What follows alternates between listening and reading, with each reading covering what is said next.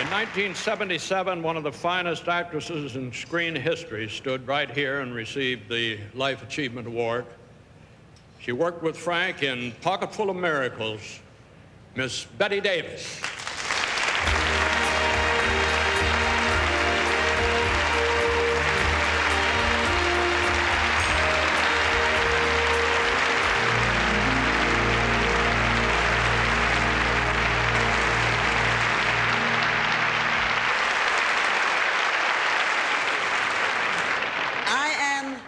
An actress, not a song.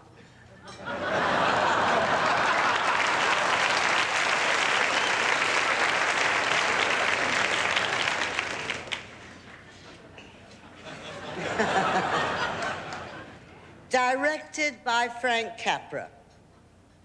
What do those words really mean? An average director is a traffic cop. A good director does justice to the script. A great director gives the audience a new way of seeing the world. Frank Capra is a great director.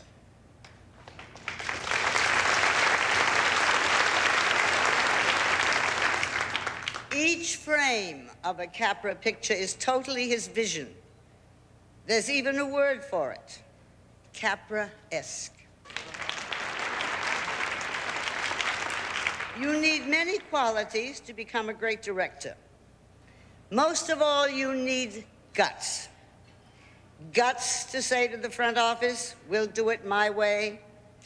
Guts to say to the actors, that wasn't good enough.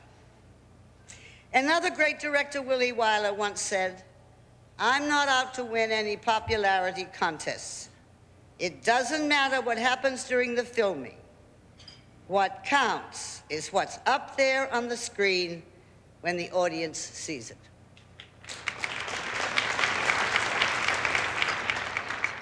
As we will see so abundantly tonight, Frank Capra got it up there on the screen. He fought for it. He fought with some pretty determined people. He fought with Harry Cohn. He fought with the United States Army. He fought with me during the filming of Pocketful of Miracles. I didn't always agree with him, but I always respected him. He knew what he wanted.